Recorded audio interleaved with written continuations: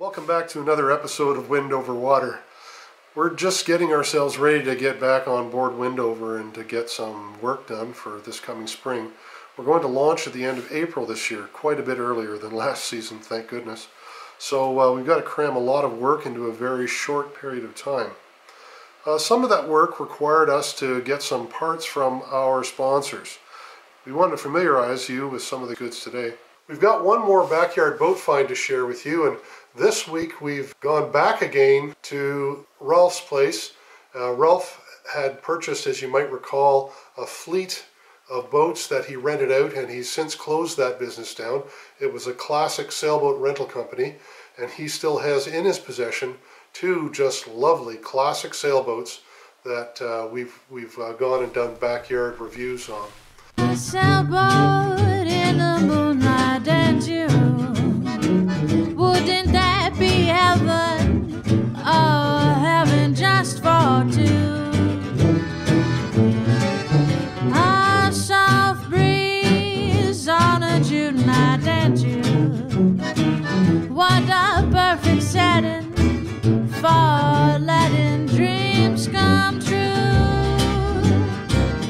We got a nice little surprise in the mail the other day. We want to share with you. It's from our favorite stainless steel supplier. Uh, this company we initially got in touch with to uh, deal with the lifelines that needed to be replaced on Windover.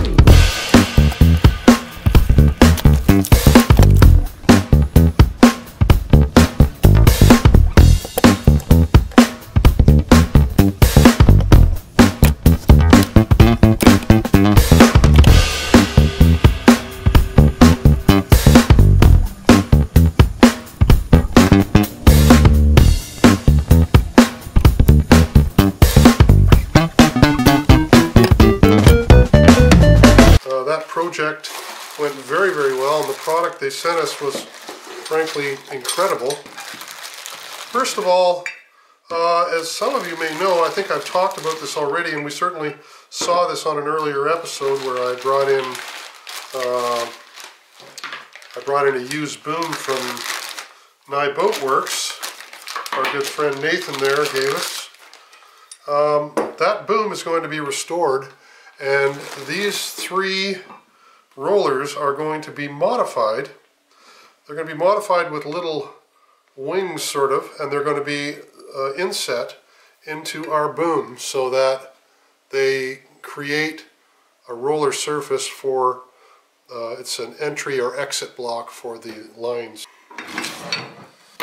They've also sent us some substantial shackles. And these shackles are ones that, that we would use for uh, things like our halyards on our main and on our jib. Now the unique thing about these is they are actually uh, set with an Allen key and once you crank that tight they lock and there's no little tab on the end to catch on anything. So it's a nice smooth install and uh, probably a safer way especially things like jib halyards that are left installed all the time and are not being undone and done up again very often. This is a great product so. And here's another one of these no snag uh, features. I'm going to use these ones on our outhaul and on our uh, mainsail uh, because they're left there relatively permanently throughout the course of the year. Uh, if I have to open them, then I can just go get an Allen screw and undo them. Saves on uh, getting your your uh, your sail hooked up on it. I have torn my mainsail on the thumb screw on this uh, 90 degree bent uh, shackle, one like this, and I've eliminated now, now that problem by getting the no snag. Beautiful product. There's going to be some external lines on this new boom and we need to lead them fair. For that we'll need fair leads and these are just lovely stainless fair leads. They also come with a base plate. When you put dissimilar metals against one another, what happens is they react, certainly stainless and aluminum do, so comes with a really nice rubber gasket. So that will sit underneath it. Very handy. So if you all can see that, this is the design we have for our new boom.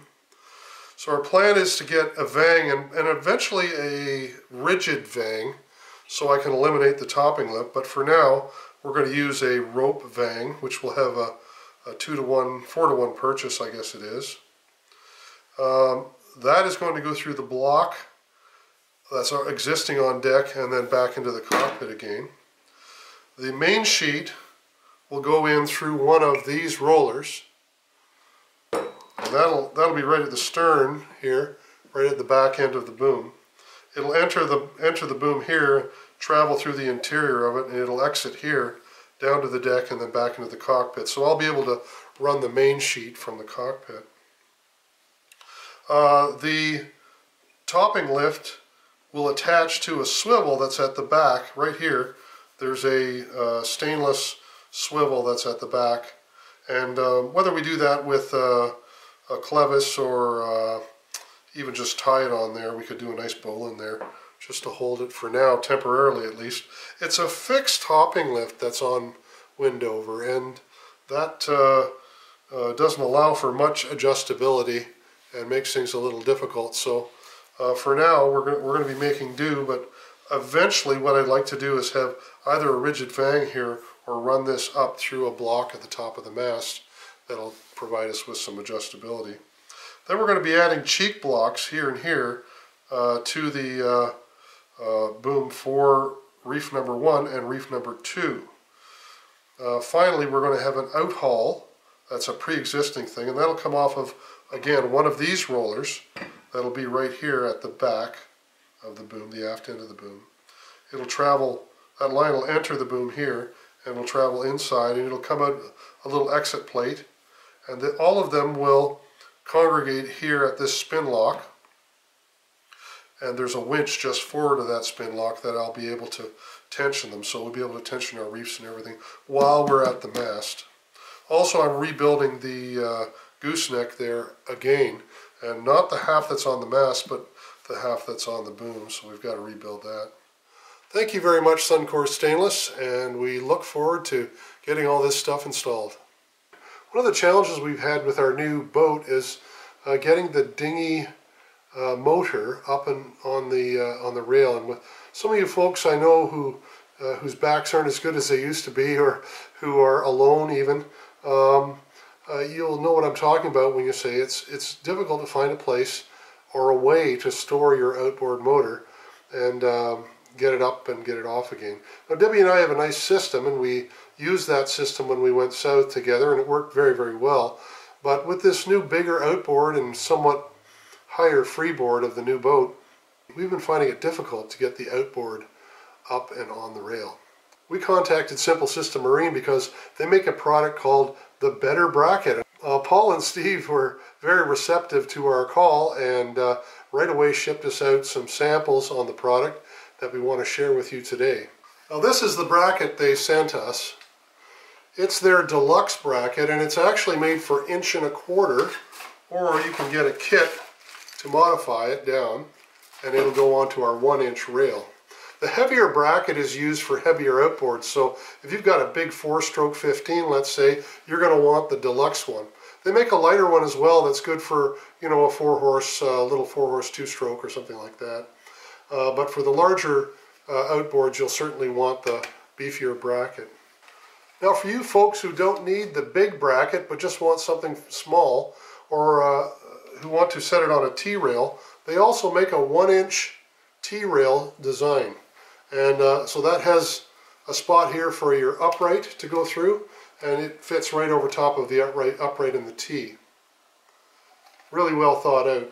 Also, I should say, inside here, they've this hole here is larger as you come inside and then goes back down again to one inch. That extra space inside will accommodate a very slight bend. So really a well thought out product. This is a product called Starboard, which many of you are familiar with, and it is uh, really, really a tough, uh, tough material. Top of the bracket, it's capped with stainless steel, and it's a, a textured stainless steel as well, so when you put your outboard clamps over top of it, it's not as apt to slip around. It also has an adjustable rail here that goes up and down, and this, this adjusts just with a simple socket wrench. So rather than having to drill holes to match up where you'd bolt it to your rail, you can just loosen this off and adjust it to fit the rail on your boat. Really a nice system and uh, really, really heavy and durable as well. Here's the coolest thing about this. Normally when you get a rail mount, the hole is somewhat lower down. This company has thought this through and they put the hole as close to the top as they can and then they've reinforced it with this stainless steel. What you get is a motor bracket that's as low as it possibly can go on the rail and it it's, uh, makes it easier for you to lift the motor on and off of it. So really an ingenious little product and uh, we're going to mount that on our boat very very shortly and uh, we'll bring you folks along and let you have a look at it. We want to thank Simple System Marine for their uh, generosity and we look forward to having a better bracket.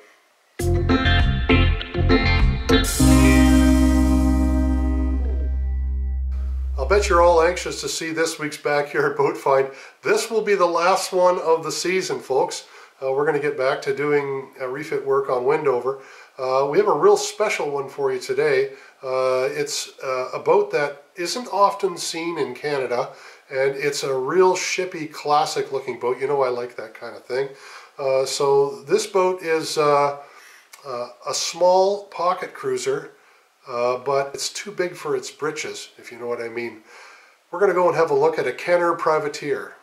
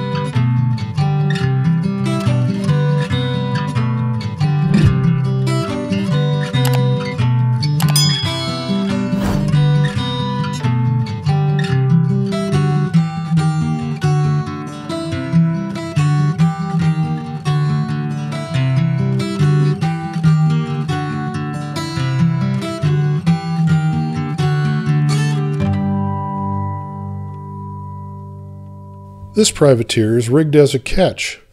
Kenner Boat Company built this model from 1966 through to 1974. She has a length overall of just under 32 feet. Her narrow beam, shallow draft, and lightweight make her easy to tow on her trailer. The company was founded by Bill and Dick Kenner. Since the late 50s, they'd been building small fiberglass runabouts under the name Kencraft. By the 1960s, Kenner was building all kinds of fiberglass boats, both power and sail, as well as houseboats. This privateer came rigged as a ketch, but you could buy it as a cutter or as a schooner like this jaw-dropping beauty. The first thing that strikes you when you get on this boat is the amount of bronze hardware that's on it. It's just dripping in it. This and other traditional features harken back to the early days of sailing and make the Kenner Privateer one of the prettiest vintage boats on the water.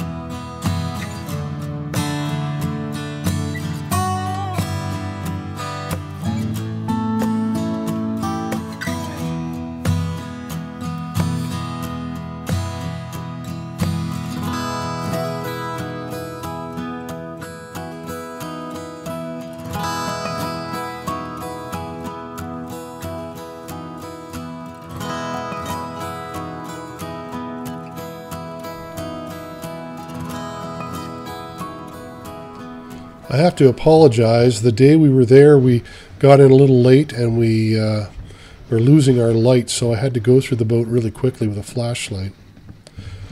Down below, she's really ornate. Lots of wood, lots of bronze again, just uh, just like the top sides.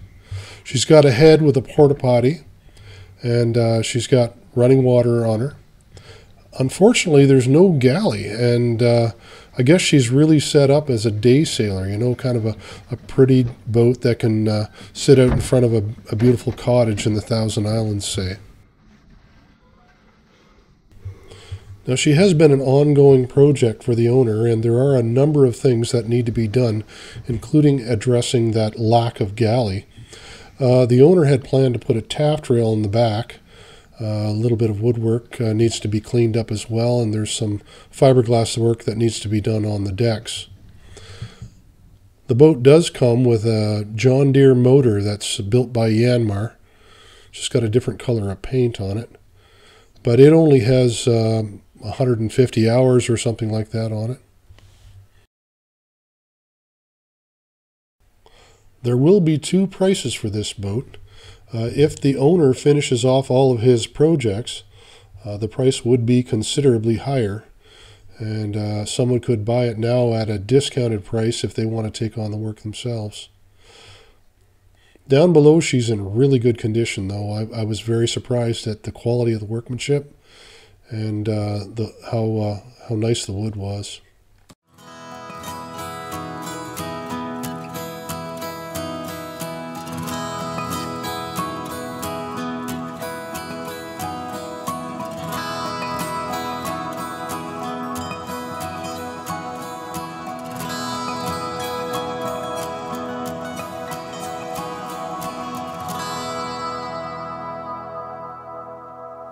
You've been enjoying these videos, be sure and click the like button. Uh, also, we'd like you to join us every week if you can. We'll send you notifications and it doesn't cost you anything. So click on that uh, subscribe button down below. You can, the little wind over water link that's down in the bottom corner here will take you right to that. Now, if you folks really enjoy these videos and you want to help us in their production, you can do so by going to Patreon. There's a link down below this video. And uh, at Patreon, you can pledge to kick in a couple of dollars for each video as they come out, and you'd help us with the expenses. So thank you very much for joining us, and uh, we look forward to seeing you all next time here on Wind Over Water. Take care.